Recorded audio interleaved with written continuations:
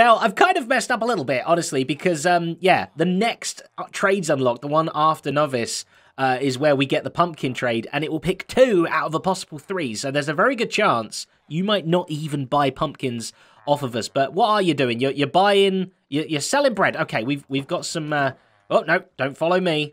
We've got some emeralds here, so please, please, we've got two thirds chance. Uh, let's just buy bread until you upgrade.